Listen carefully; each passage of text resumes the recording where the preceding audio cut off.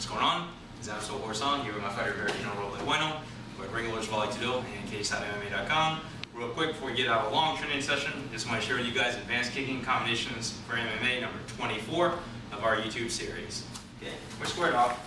Okay, Bertino's going to come in aggressively, give me a one, a two, a three, cock back, three to the body, cock back again, three to the head, throw another two, step off for a liver kick.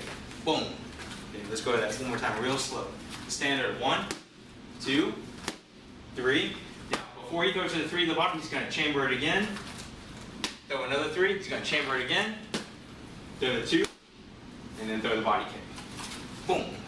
Okay. All that's going to do some real, real damage to this part of your opponent's body. Usually with all his body shots, he's going to go down and you can look to finish him. Okay, a couple times, a little bit fast.